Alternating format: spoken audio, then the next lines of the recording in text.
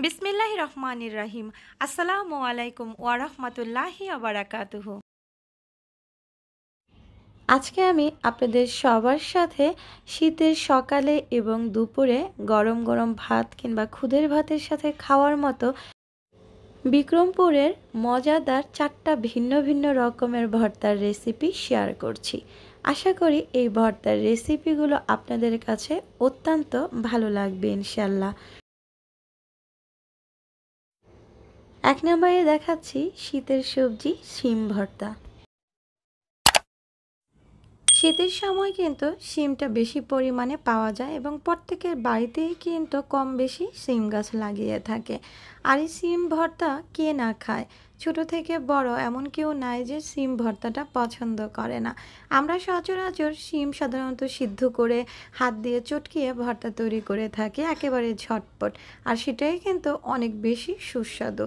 আজকে আমি যেভাবে দেখাচ্ছি, এভাবে একবার হলো আপনারা ট্রাই করে দেখবেন। প্রিয় দর্শক, প্রথমে আমি শিমগুলোকে ভালোভাবে পরিষ্কার করে নিচ্ছি।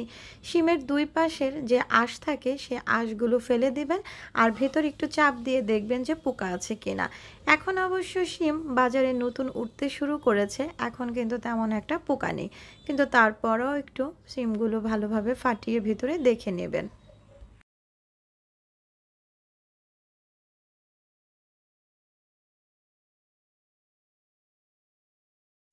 সবগুলো শিমই কিন্তু আমি পরিষ্কার করে দুটো টুকরো করে নিয়েছি। এবার এই শিমগুলোকে ভালোভাবে ধুয়ে পরিষ্কার করে নিচ্ছি।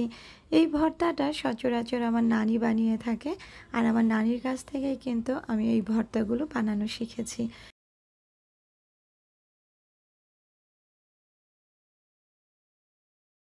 শিমের সাথে আমি এখানে দেড় কাপ পরিমাণ চিংড়ি মাছ নিয়েছি।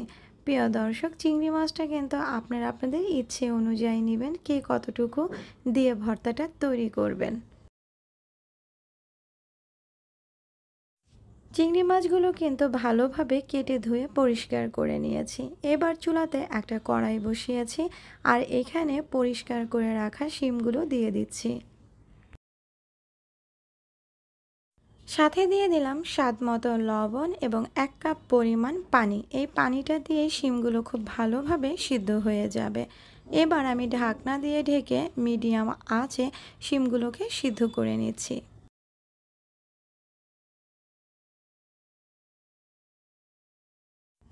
কিছুক্ষণ পরে অবস্থা দেখাচ্ছি। দেখুন প্রিয় দর্শক, বলক কিন্তু চলে এসেছে। এবার আমি একটু নাড়াচড়া করে মিক্স করে দিচ্ছি।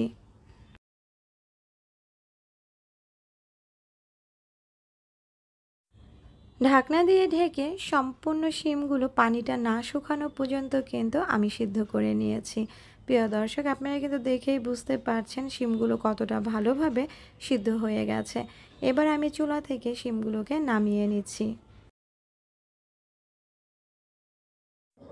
এবার চুলাতে একটা ফ্রাই প্যান বসিয়েছি আর দুই টেবিল চামচ পরিমাণ সরিষার তেল গরম করে নিয়েছি। তেলটা গরম হয়ে যাওয়ার পরে অ্যাড করে দিলাম দেশি রসুন। ভর্তা তৈরি করার ক্ষেত্রে কিন্তু অবশ্যই অবশ্যই দেশি রসুনটা ব্যবহার করবেন। এখানে আমি দেশি পাঁচটা রসুন নিয়েছি। আর সাথে দিয়ে দিলাম কাঁচামরিচ। এই ভর্তাটা তৈরি করার ক্ষেত্রে কিন্তু অবশ্যই কাঁচামরিচটা দিবেন। শুকনো মরিচটা দেওয়ার কোনো দরকার নেই। আমার নানি সবসময় এই ভর্তাটা কাঁচামরিচ দিয়ে তৈরি করত। আর কাঁচামরিচ দিয়ে কিন্তু অনেক অনেক বেশি সুস্বাদু হয়। তবে ঝালটা কিন্তু আপনারা আপনাদের ইচ্ছে অনুযায়ী দিবেন। রসুন আর কাঁচামরিচটা কিন্তু অনেকটা ভাজা হয়ে গেছে। এখন এখানে অ্যাড করে দিচ্ছি এক কাপ পরিমাণ পেঁয়াজ কুচি। পেঁয়াজ কুচিটা দিয়ে এখন নাড়াচাড়া করে আবারও আমি ভেজে নিচ্ছি।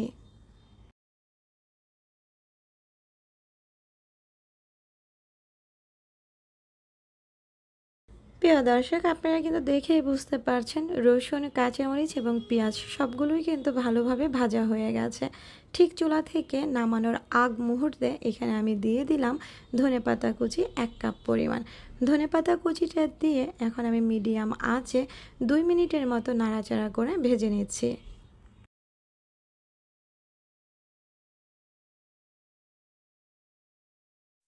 ভাজা কিন্তু হয়ে গেছে। আপনাদেরকে আমি একটু কাছ থেকে দেখিয়ে দিচ্ছি। এবার আমি চুলা থেকে নামিয়ে নিয়েছি। প্রিয় দর্শক, একই ফ্রাই প্যানে আমি দিয়ে দিলাম আরও এক টেবিল চামচ পরিমাণ সরিষার তেল। তেলটা গরম হয়ে যাওয়ার পরে এখানে দিয়ে দিচ্ছি পরিষ্কার করে রাখা চিংড়ি মাছগুলো।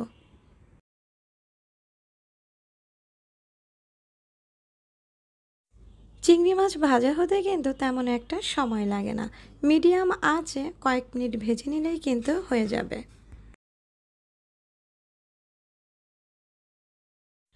দেখুন প্রিয় দর্শক, চিংড়ি মাছগুলো কিন্তু ভাজা হয়ে গেছে। এখন আমি এখানে দিয়ে দিচ্ছি সিদ্ধ করে রাখা শিমগুলো। শিমগুলো দিয়ে আরও পাঁচ থেকে ছয় মিনিটের মতো নাড়াচাড়া করে আমি ভেজে নিচ্ছি। তবে চুলার আঁচ কিন্তু লো আর মিডিয়াম আঁচের মাঝামাঝি রাখবেন।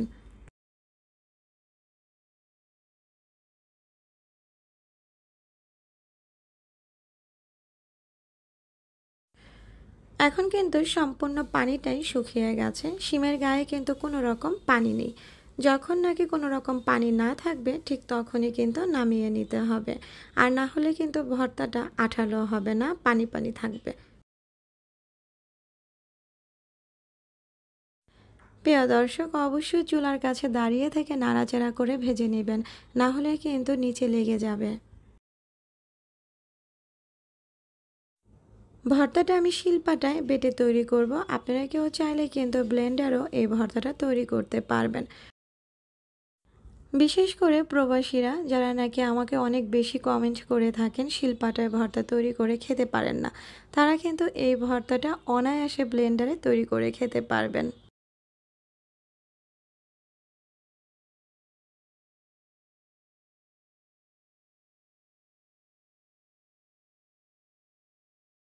তবে শিলপাটায় ভর্তা তৈরি করে খেতেই কিন্তু বেশি সুস্বাদু। প্রিয় দর্শক, আমি কিন্তু পেঁয়াজ, কাঁচামরিচ, ধনে পাতা, রসুনটা বেটে নিয়েছি।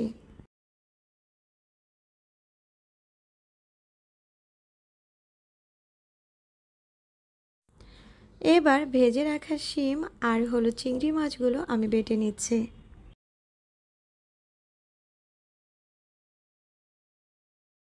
এই ভর্তাটা তৈরি করে কিন্তু আপনি নর্মাল ফ্রিজে পনেরো থেকে বিশ দিনের মতো রেখে খেতে পারবেন। একটুও কিন্তু নষ্ট হবে না। যেহেতু পেঁয়াজ, কাঁচামরিচ, রসুন যা কিছু আছে সব কিছুই কিন্তু তেলে ভেজে ভর্তাটা তৈরি করা হয়েছে। সচরাচর সিমের ভর্তা কিন্তু আমরা যখন সিদ্ধ করে চুটকিয়ে বানাই তখন কিন্তু সকালে বানালেই দেখবেন দুপুরেই নষ্ট হয়ে গেছে। আর এভাবে ভর্তা তৈরি করলে কিন্তু আপনার ভর্তাটা বিশ দিনের মতো খেতে পারবেন, একটুও নষ্ট হবে না। এখানে লবণটা কম ছিল, যার কারণে আমি লবণ দিয়ে এখন হাত দিয়ে ভালোভাবে মিক্স করে আবারও পাটা একটু আলতো আলতো করে বেটে মিক্স করে নিচ্ছি।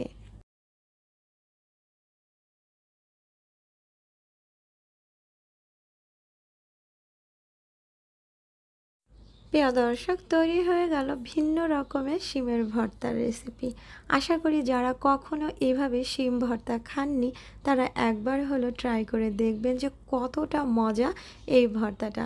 গরম ভাত কিংবা খুদের ভাতের সাথে।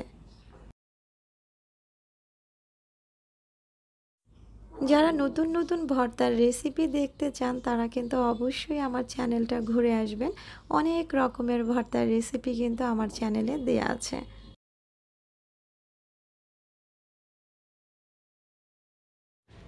এবার দেখাচ্ছি দুই নাম্বার ভর্তার রেসিপি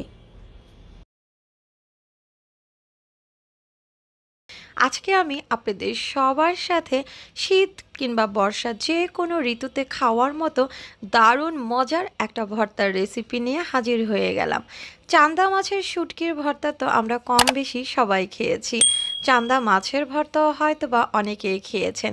কিন্তু আজকে আমি আপনাদের সাথে শেয়ার করছি একেবারে নতুন পদ্ধতিতে চান্দা মাছের একটা ভর্তার রেসিপি আমাদের বিক্রমপুরে চান্দা মাছের ভর্তা অনেকভাবেই তৈরি করে থাকে, তবে আজকে আমি একভাবে দেখাচ্ছি, পরবর্তীতে আবার ভিন্নভাবে আপনাদের সাথে শেয়ার করব ইনশাল্লাহ এখানে আমি তিনশো গ্রামের মতো চান্দা মাছ নিয়েছি, আর চান্দা মাছের ভর্তা তৈরি করার জন্য কিন্তু মাছগুলোকে আপনি ভালোভাবে ধুয়ে পরিষ্কার করে নিতে হবে। প্রিয় দর্শক, দেখুন মাছগুলো কিন্তু ভালোভাবে ধুয়ে পরিষ্কার করে নিয়েছি। চান্দা মাছগুলো আপনারা যদি কেউ চান তাহলে কিন্তু কেটে নিতে পারেন। এখানে শুধু পেটে একটু চাপ দিলে দেখবেন যে নাড়িভুড়িটা বের হয়ে যাবে। তারপরে লবণ দিয়ে আলতো আলতো করে কেচে ধুয়ে নিলেই কিন্তু মাছগুলো পরিষ্কার হয়ে যাবে। সাথে নিয়েছি ধনে পাতা, কাঁচামরিচ, পেঁয়াজ আর রসুন। এবার ভর্তাটা তৈরি করার জন্য চুলাতে আমি একটা ফ্রাই প্যান বসিয়েছি। দিয়ে দিলাম তিন টেবিল চামচ পরিমাণ সরিষার তেল। তেলটা আমি ফ্রাই প্যানের চারপাশে ঘুরিয়ে ঘুরিয়ে লাগিয়ে নিয়েছি আর অ্যাড করে দিলাম রসুন। যে কোনো ভর্তা তৈরি করার ক্ষেত্রে কিন্তু অবশ্যই দেশি রসুনটা ব্যবহার করবেন। আমি এখানে রসুন নিয়েছি ছয়টা। আমি সব সময় ঝাল ঝাল ভর্তা খেতে বেশি পছন্দ করি। আপনারা আপনাদের আন্দাজ অনুযায়ী কিন্তু এখানে ঝালটা ব্যবহার করবেন। আমি এখানে দুই কাপের মতো কাঁচামরিচ অ্যাড করেছি। কাঁচামরিচ আর রসুনটা কিন্তু মিডিয়াম আঁচে আমি ভেজে নিচ্ছি।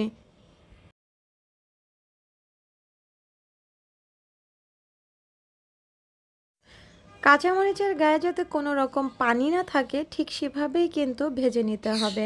এখন এখানে অ্যাড করে দিচ্ছি দেড় কাপের মতো পেঁয়াজ কুচি।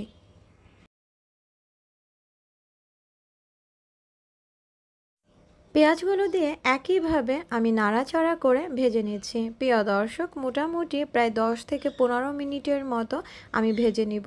যতক্ষণ পর্যন্ত না পানিটা ভালোভাবে শুকাচ্ছে, ঠিক ততক্ষণ পর্যন্ত আমি ভেজে নেব। লাল লাল করে কিন্তু ভাজা হয়ে গেছে। আপনারা কিন্তু দেখেই বুঝতে পারছেন যে সম্পূর্ণ ভাজা হয়ে গেছে। এই অবস্থায় আসলে অ্যাড করে দিতে হবে ধনে পাতা কুচি। আমি এখানে এক আটি ধনে পাতা নিয়েছি।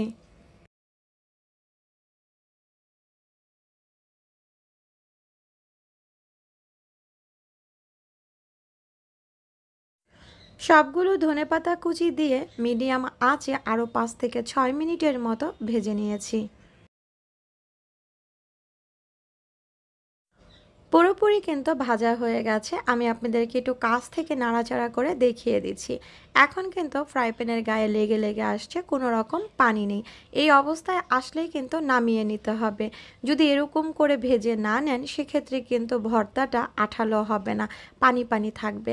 আর পানি পানি ভর্তা খেতে কিন্তু মোটেও স্বাদ না। ফ্রাই প্যান থেকে আমি একটা প্লেটে সম্পূর্ণ উপকরণগুলো ঢেলে রেখে এই ফ্রাই প্যানেই অ্যাড করে দিলাম দুই টেবিল চামচ পরিমাণ সয়াবিন তেল। আমি এখানে সরিষার তেল দিতে গিয়ে ভুলে সয়াবিন তেলটা ব্যবহার করে ফেলেছি। প্রিয় দর্শক, সাথে দিয়ে দিলাম স্বাদ মতো লবণ, হাফ চা চামচ পরিমাণ হলুদের গুঁড়া আর হাফ চা চামচ পরিমাণ মরিচের গুঁড়া। এটা কিন্তু সম্পূর্ণই অপশনাল, যাতে করে মাছের কালারটা দেখতে অনেক ভালো লাগে, যার কারণে এভাবে ভেজে নেবেন। কেউ যদি চান যেভাবে ভাজবেন না, শুধুমাত্র তেলের ভিতরে লবণ দিয়ে মাছটা ভেজে নেবেন, সেক্ষেত্রেও কিন্তু করতে পারবেন।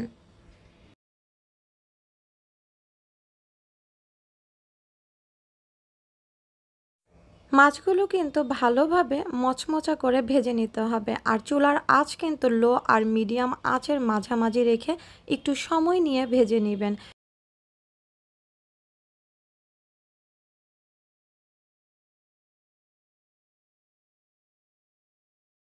কিছুক্ষণ পরের অবস্থা দেখাচ্ছি। দেখুন, মাছগুলো কিন্তু মচমচা করে ভাজা হয়ে গেছে। আপনারা কিন্তু দেখেই বুঝতে পারছেন। এবার আমি চুলা থেকে নামিয়ে প্রথমে মাছগুলোকে ভেজে নিব। যদি মাছগুলো ঠান্ডা হয়ে যায়, সেক্ষেত্রে কিন্তু মাছগুলো অনেকটা নরম হয়ে যাবে, মচমচা থাকবে না। যদি মাছগুলো আপনি মচমচা করে ভেজে না নেন, সেক্ষেত্রে কিন্তু শিল পাটাতে বাটা যাবে না। কাঁচা কাঁচা থাকলে কিন্তু আপনার কাটাগুলো ভালোভাবে মিশ হবে না। আর মিশ না হওয়ার কারণে ভর্তাতে কিন্তু প্রচুর পরিমাণে কাটা কাটা লাগবে, খেতে ভালো লাগবে না।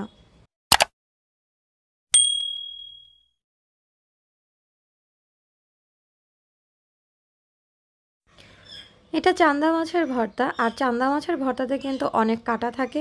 অবশ্যই ভর্তা তৈরি করার সময় একটা চামচ ব্যবহার করবেন। যদি হাত দিয়ে আপনি বারবার মাছগুলোকে নাড়াচাড়া করেন, সেক্ষেত্রে কিন্তু হাতে কাটা বিঁধে যাওয়ার সম্ভাবনা থাকে। সবগুলো মাছই কিন্তু বাটা হয়ে গেছে। এবার আমি কাঁচামরিচ, রসুন আর পেঁয়াজগুলো বেটে নিচ্ছি।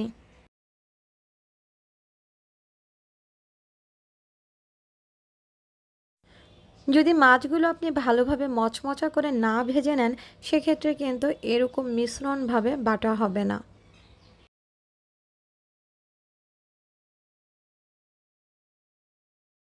আপনারা কেউ চাইলে কিন্তু এই ভর্তাটা ব্লেন্ডারও তৈরি করতে পারবেন খুব সহজে।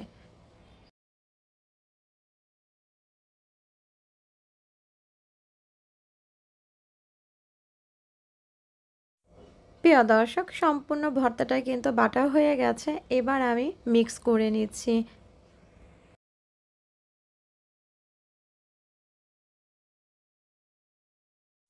যদি হাত দিয়ে মিক্স করেন, সেক্ষেত্রে কিন্তু একটু সাবধানে মিক্স করবেন। যদি কাটা থেকে যায়, তাহলে কিন্তু হাতে বিঁধে যেতে পারে।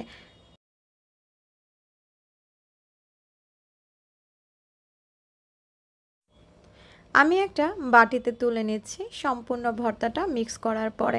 অবশ্যই কিন্তু লবণটা দেখবেন যে ঠিক আছে কি না প্রিয় দর্শক, আশা করি আজকে আমার এই নতুন ধরনের ভর্তাটা আপনাদের কাছে অত্যন্ত ভালো লাগবে। এর আগেও কিন্তু আমি অনেক রকমের ভর্তা আপনাদের সাথে শেয়ার করেছিলাম।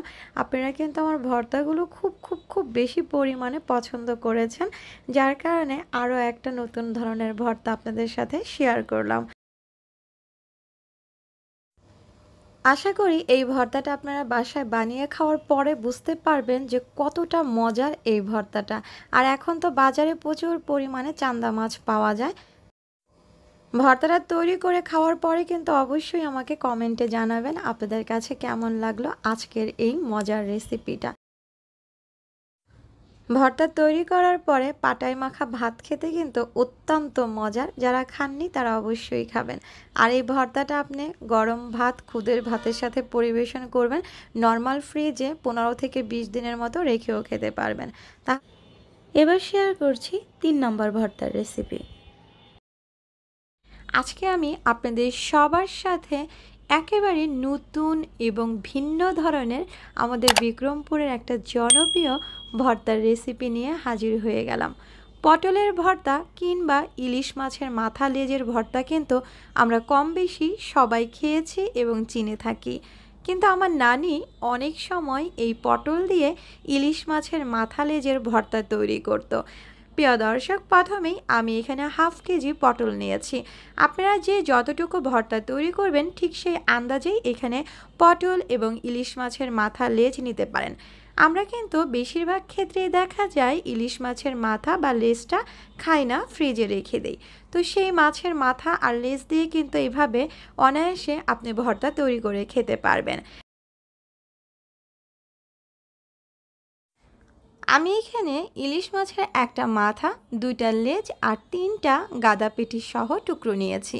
এবার আমি পটলগুলোকে ছোট ছোট টুকরো করে কেটে নিয়েছি, গুল গুল করে। আপনারা আপনাদের ইচ্ছে অনুযায়ী কিন্তু পটলগুলোকে কেটে নিতে পারেন। তবে প্রিয় দর্শক, পটলগুলো কিন্তু আমি এখনও ধুইনি। আমি না ধুয়ে কিন্তু পটলগুলোকে কেটে নিয়েছি। আপনারা কেউ চাইলে কিন্তু পটলের খোসাটা ফেলে দিতে পারেন। যেহেতু পটলের খোসা দিয়ে কিন্তু আমরা সচরাচর ভর্তা তৈরি করে খেয়ে থাকি, যার কারণে আমি এখানে পটলের খোসাটা ফেলছি না।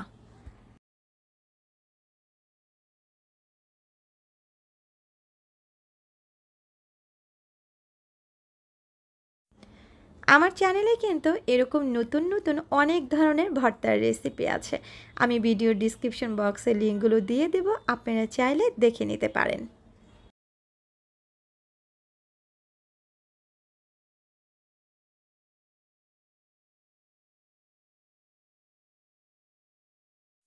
প্রিয় দর্শক, যদি পটলের ভিতরে শক্ত বিচি থাকে, সেক্ষেত্রে বিচিগুলো ফেলে দিতে পারেন, আর বিচি না ফেললেও কোনো সমস্যা নেই। সবগুলো পটলে কিন্তু আমার কাটা হয়ে গেছে। এবার আমি ইলিশ মাছের মাথাটা ভালোভাবে কেটে ধুয়ে পরিষ্কার করে নিয়ে আসছি।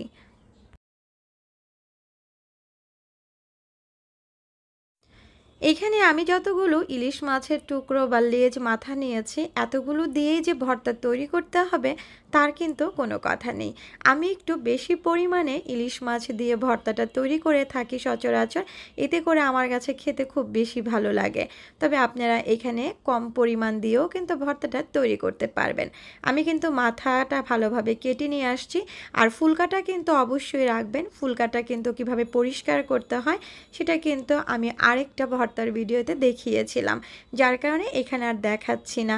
এখন আমি এখানে দিয়ে দিচ্ছি এক চা চামচ পরিমাণ লাল মরিচের গুঁড়া, এক চা চামচ পরিমাণ হলুদের গুঁড়া আর স্বাদ মতো লবণ। খুব ভালোভাবে হাত দিয়ে আমি এবার মাছের সাথে মশলাগুলোকে মাখিয়ে নিচ্ছি। আপনি মশলাগুলো মাখিয়ে 10 থেকে পনেরো মিনিটের মতো রেস্টে রেখে দিলেই কিন্তু হবে। মশলাগুলো ভিতরে ঢুকে যাবে খুব সহজে।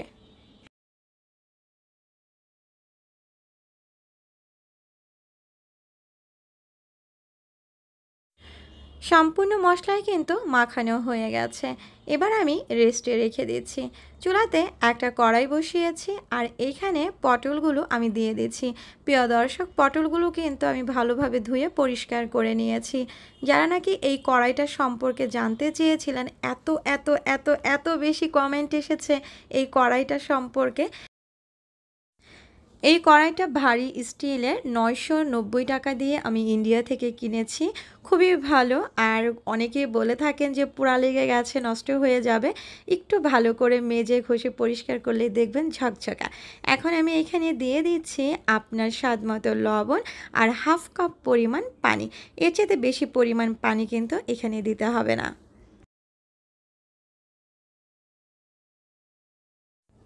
এই কড়াইটার সাথে একটা ঢাকনা আছে, আর ঢাকনাটার এক পাশে দেখুন যে তিনটা ছিদ্র আছে, এখান দিয়ে বাষ্পটা বের হয়। বোরোসেল কোম্পানির এই কড়াইটা খুবই ভালো। এই কোম্পানির আসলে কড়াইগুলো খুবই মজবুত হয়ে থাকে। তো প্রিয় দর্শক, কিছুক্ষণ পরে অবস্থা দেখাচ্ছি।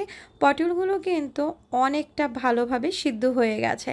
কিন্তু পটলের গায়ে কিন্তু এখনও অনেকটা পানি আছে। আমি সম্পূর্ণ পানিটাই কিন্তু শুকিয়ে নিব।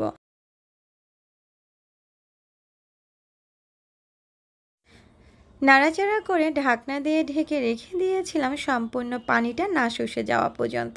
প্রিয় দর্শক, দেখুন, এখন কিন্তু কড়াইয়ের নিচে লেগে লেগে আসছে। অনেকেই ভাবতে পারেন কড়াইয়ের অবস্থা বারোটা বেজে গেছে। কড়াই কিচ্ছু হবে না, আপনি শুধু ঠান্ডা পানিতে একটু ভিজিয়ে রাখবেন, তারপরে ভিমবার দিয়ে মাজনি দিয়ে ঘষে ধুয়ে নিলেই হয়ে যাবে। খুব সহজে উঠে যাবে। মাত্র দুই থেকে তিন মিনিটের ব্যাপার, এই কড়াইটা পরিষ্কার করা। এবার আমি কড়াইটা নামিয়ে নিচ্ছি চুলা থেকে। চুলাতে একটা ফ্রাই প্যান বসিয়েছি আর এখানে দিয়ে দিয়েছি রসুন। যে কোনো ভর্তার ক্ষেত্রে কিন্তু দেশি রসুনটা ব্যবহার করবেন। আমি এখানে দেশি পাঁচটা রসুন নিয়েছি।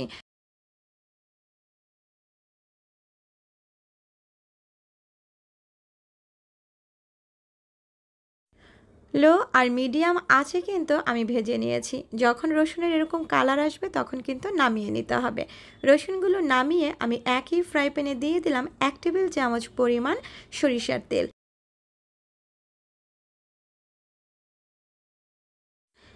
তেলটা ঘুরিয়ে ফ্রাই প্যানের চারপাশে আমি লাগিয়ে নিয়েছি। আর অ্যাড করে দিলাম দেড় কাপ পরিমাণ পেঁয়াজ কুচি। প্রিয় দর্শক আমি কিন্তু এই ভর্তাটা তৈরি করব শুধুমাত্র কাঁচামরিচ দিয়ে। এই ভর্তাটা আমার নানি সবসময় কাঁচামরিচ দিয়ে তৈরি করে থাকতো। এই ভর্তাতে কখনোই আমার নানিকে আমি দেখিনি শুকনো মরিচ ব্যবহার করতে, যার কারণে আমিও আপনাদের সবার সাথে কাঁচামরিচ দিয়েই শেয়ার করছি।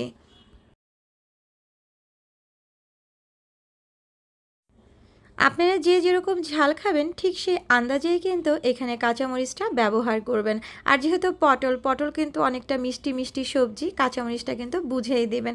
প্রিয় দর্শক, আমি কিন্তু লো আর মিডিয়াম আছে পেঁয়াজ আর কাঁচামরিচটা ভেজে নিয়েছি। ঠিক যখন এই পর্যায়ে আসবে, তখন নামিয়ে নিতে হবে। একই ফ্রাই প্যানে আবারও আমি এক টেবিল চামচ পরিমাণ সরিষার তেল গরম করে নিয়েছি। এখন এখানে দিয়ে দিচ্ছি সিদ্ধ করে রাখা পটলগুলো। এবার পটলগুলো ভেজে নিতে হবে একদম লো আছে যাতে করে পটলের গায়ে কোনো রকম পানি না থাকে।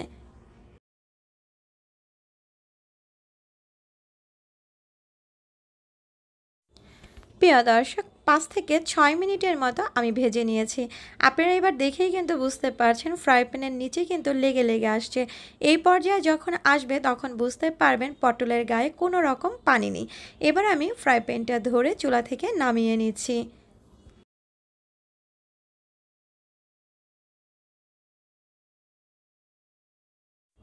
চুলাতে আমি আরেকটা ফ্রাই প্যান বসিয়েছি আর এখানে দিয়ে দিচ্ছি হাফ কাপ পরিমাণ সরিষার তেল।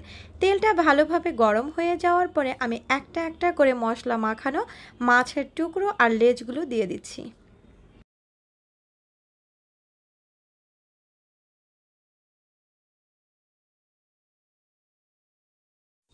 চুলার আঁচ কিন্তু আমি মিডিয়ামে রেখেছি। আর মিডিয়ামে রেখেই কিন্তু মাছগুলোকে ভেজে নিতে হবে।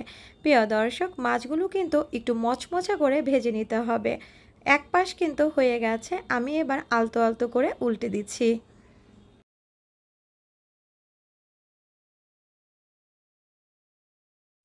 অনেকে আসলে বলে থাকেন, ভর্তা তৈরি করতে অনেক ঝামেলা। ভর্তা তৈরি করতে আসলে একটু ঝামেলা, তবে খেতে কিন্তু দারুণ।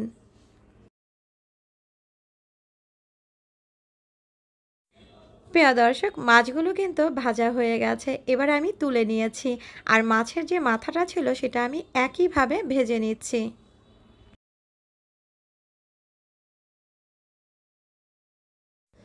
মাছের মাথাটা কিন্তু একটু সময় নিয়ে মচমচা করে ভেজে নেবেন, প্রিয় দর্শক। আপনারা কিন্তু দেখেই বুঝতে পারছেন যে আমি কতটা মচমচা করে মাছগুলোকে ভেজে নিয়েছি। ভর্তাটা আমি শিলপাটাতে তৈরি করব। আপনারা কেউ চাইলে ব্লেন্ডারে তৈরি করতে পারবেন, তবে মাছটাকে ভালোভাবে বেছে তারপরে। মাছ বাছা ছাড়া কিন্তু ব্লেন্ডারে এই ভর্তা তৈরি করতে পারবেন না। প্রিয় দর্শক, প্রথমে আমি রসুনগুলোকে বেটে নিচ্ছি কোনো রকম পানি ছাড়া।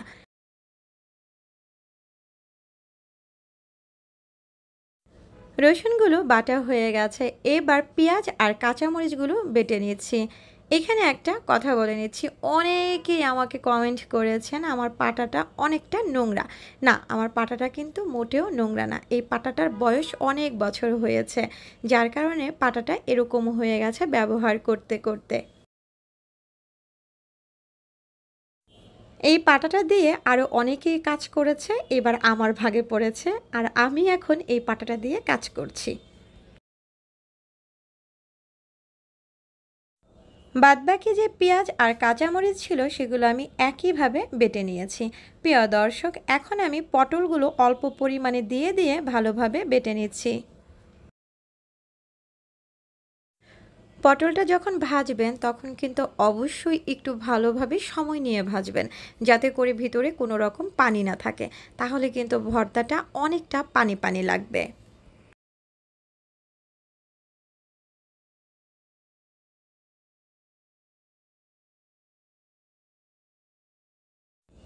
সবগুলো পটলে কিন্তু আমার বাটা হয়ে গেছে। এবার আমি মাছগুলোকে ভালোভাবে বেটে নিচ্ছি। প্রিয় দর্শক, মাছের ভিতরে যে কাটাগুলো আছে, এই কাটাগুলো কিন্তু বেছে বেছে ফেলে দিতে হবে।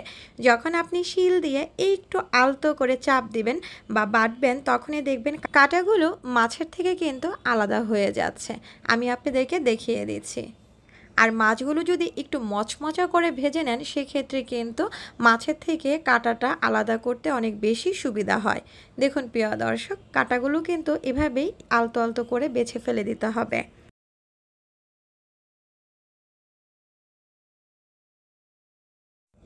অনেকেই ভাবতে পারেন, এত কাটা বেছে এই ভর্তা খাব?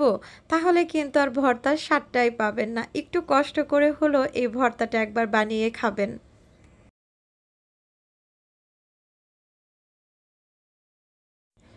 আমি কিন্তু সব সময় একটু বেশি পরিমাণে ভর্তা তৈরি করে থাকি। তার কারণ হলো আমি নর্মাল ফ্রিজে প্রায় পনেরো থেকে বিশ দিনের মতো ভর্তাগুলো রেখে খেয়ে থাকি। কখনো কখনো কিন্তু এক মাস পর্যন্ত আমি ভর্তা রেখে খাই। আর ভর্তা কিন্তু কোনোভাবেই নর্মাল ফ্রিজে নষ্ট হবে না। অনেক ক্ষেত্রে অনেকে আমাকে কমেন্ট করে থাকে, আপু ফ্রিজে ভর্তা নষ্ট হয়ে যায় বা তরকারি নষ্ট হয়ে যায়। এটা আসলে আপনার ফ্রিজের সমস্যা।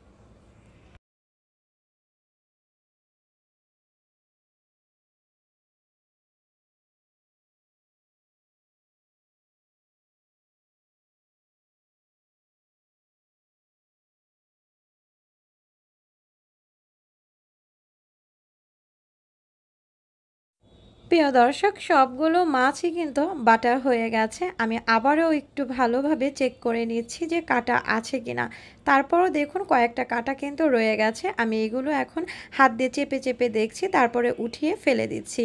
এবার সম্পূর্ণ ভর্তাটা আমি মিক্স করে নিচ্ছি।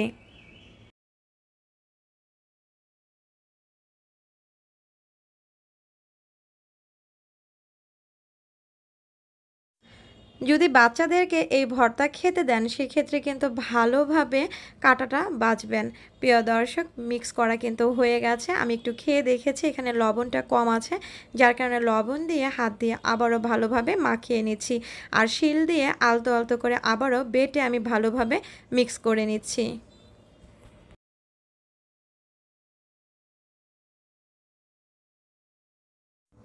ভর্তায় যদি ঝাল আর লবণটা ঠিক না হয়, সেক্ষেত্রে কিন্তু ভর্তা খেতে ভালো লাগে না।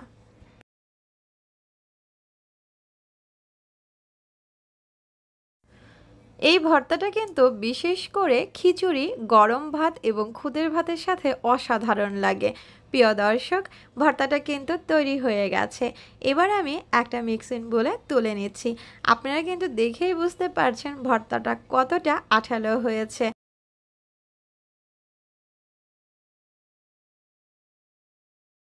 ভর্তা তুলে নেওয়ার পরে পাটায় মাখা ভাত খেতে কিন্তু অসাধারণ লাগে। প্রিয় দর্শক, আমার নানির সিক্রেট ভর্তার রেসিপিটা আপনাদের সবার সাথে শেয়ার করলাম। আশা করি এই ভর্তার রেসিপিটা আপনাদের মন ছুঁয়ে যাবে। এবার শেয়ার করছি চার নম্বর এবং সর্বশেষ ভর্তার রেসিপি রেসিপি ধনে পাতার ভর্তা তো আমরা কম বেশি সবাই খেয়েছি। যেহেতু এখন শীতকাল। আর শীতকাল মানেই তো সারা বাজার ভরা ধনেপাতা আর ধনেপাতা। এই ধনেপাতার ঝাল ঝাল ভর্তা দিয়ে সকালে নয়তো বা দুপুরে গরম গরম ভাত কিংবা খুদের ভাত খাওয়ার তুলনায় হয় না।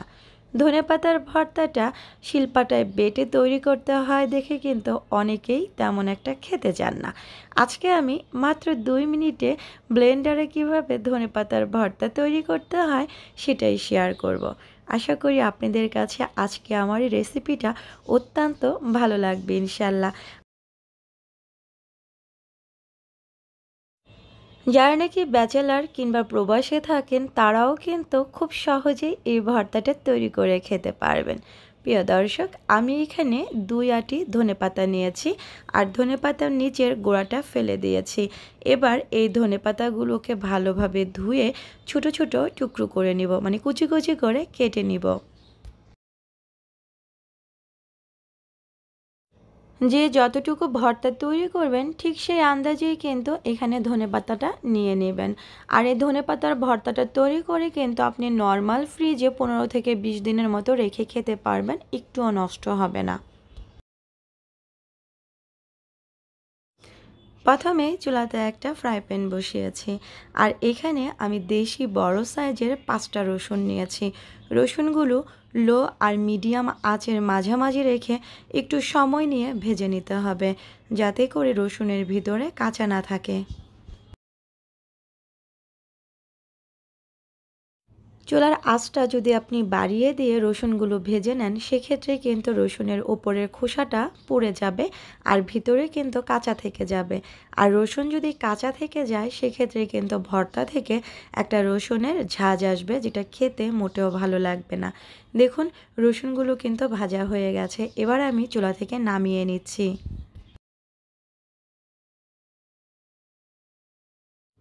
একই ফ্রাই প্যানে দিয়ে দিলাম দুই টেবিল চামচ পরিমাণ সরিষার তেল। তেলটা গরম হয়ে যাওয়ার পরে এখানে আমি দিয়ে দিচ্ছি পেঁয়াজ আর হলো কাঁচামরিচ। ঝালটা কিন্তু আপনারা আপনাদের ইচ্ছে অনুযায়ী দেবেন। যেহেতু ধনে পাতার ভর্তা, এখানে আমি কাঁচামরিচ দিয়ে তৈরি করছি। আপনারা কেউ চাইলে কিন্তু শুকনো মরিচ দিয়েও এই ভর্তাটা তৈরি করতে পারবেন।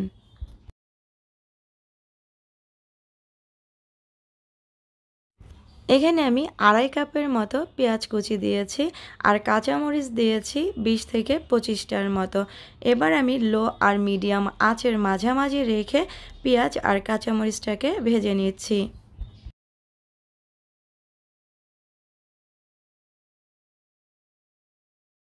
যতক্ষণ পর্যন্ত কাঁচামরিচ আর পেঁয়াজের পানিটা না শুকাচ্ছে, ঠিক ততক্ষণ পর্যন্ত কিন্তু ভেজে নিতে হবে। তবে চুলার আঁচ কিন্তু মোটেও বাড়াবেন না। চুলার আঁচ কমিয়েই কিন্তু ভেজে নিতে হবে।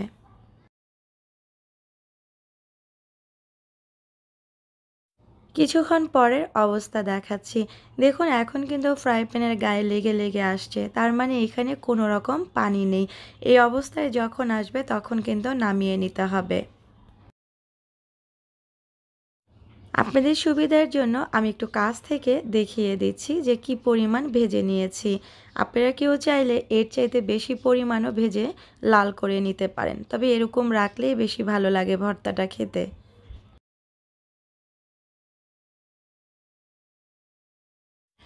একই ফ্রাই প্যানে আমি আরও দুই টেবিল চামচ পরিমাণ সরিষার তেল গরম করে এখানে আগে থেকে কেটে ধুয়ে পরিষ্কার করে রাখা ধনে পাতা কুচিগুলো দিয়ে দিলাম।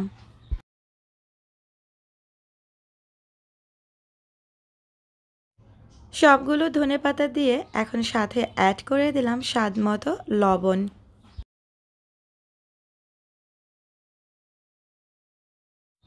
লবণ দিয়ে এবার ভালোভাবে নাড়াচাড়া করে মিক্স করে দিচ্ছি। আর এখানে কিন্তু কোনো রকম পানি অ্যাড করব না, কারণ ধনে পাতার গায়ের থেকেই কিন্তু অনেকটা পানি উঠে যাবে। ঢাকনা দিয়ে ঢেকে আমি রেখে দিয়েছিলাম সাত থেকে আট মিনিটের মতো, তবে ঢাকনাটা তুলে কিন্তু আমি একটু নাড়াচাড়া করে দিয়েছি। দেখুন প্রিয় দর্শক, কী পরিমাণ পানি উঠেছে। যদি দেখেন যে ধনে পাতার গায়ের থেকে পানি উঠছে না, সেক্ষেত্রে কিন্তু পানি দিয়ে ভালোভাবে সিদ্ধ করে নিতে হবে। আর যদি ধনে পাতার গায়ে থেকে পানি উঠে যায়, তাহলে কিন্তু কোনো রকম এক্সট্রা পানি এখানে অ্যাড করবেন না।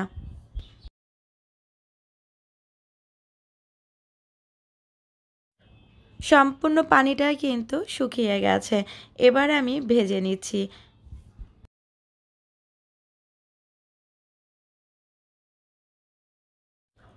ফ্রাই প্যানের গায়ে কিন্তু লেগে গেছে।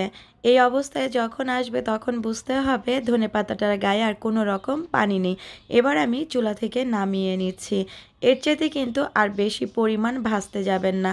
তাহলে কিন্তু খড়খড়া হয়ে যাবে।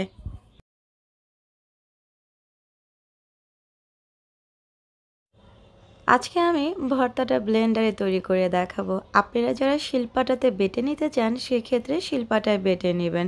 যেহেতু ধনে পাতাটা অনেকটা গরম, আমি গরম থাকা অবস্থাতেই ব্লেন্ডারের জারে দিয়ে দিয়েছি।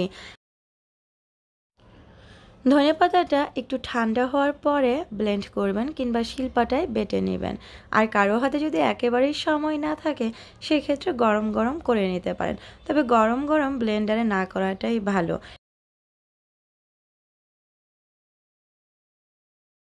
সাথে দিয়ে দিলাম ভেজে রাখা রসুনগুলো আর এখন অ্যাড করে দিয়েছি কাঁচামরিচ আর পেঁয়াজ কুচি।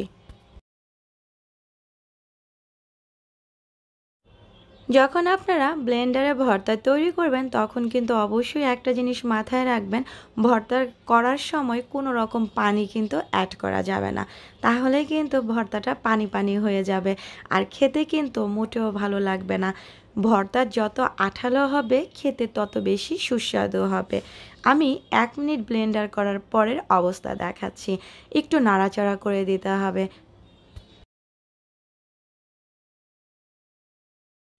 এই ভর্তাটা কিন্তু দুই থেকে তিন মিনিট ব্লেন্ডার করলেই তৈরি হয়ে যাবে।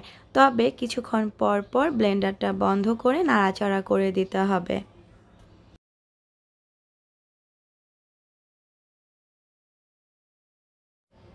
নাড়াচাড়া করে আবারও আমি ব্লেন্ডারটা চালিয়ে দিয়েছি আর ব্লেন্ডারের স্পিড কিন্তু আমি মিডিয়ামে রেখেছি।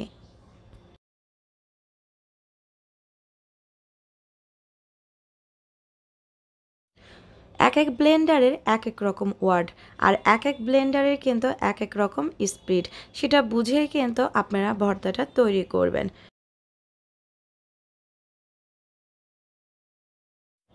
যে সমস্ত ব্লেন্ডারের ওয়াটটা অনেক বেশি, সেই সমস্ত ব্লেন্ডারে কিন্তু দুই থেকে তিন মিনিটের ভিতরে ভর্তাটা তৈরি হয়ে যাবে।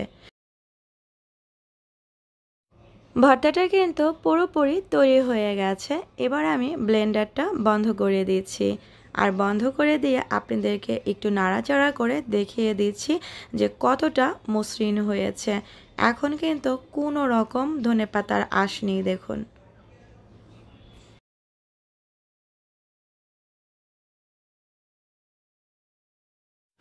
ভর্তাটা কিন্তু মাশাল্লাহ চমৎকার হয়েছে। অনেক আঠালো হয়েছে। শিল্পাটায় ভর্তা তৈরি করলেও কিন্তু এরকমই হয়। তবে আবারও বলছি, ভর্তা তৈরি করার সময় কিন্তু কোনো রকম পানি অ্যাড করবেন না।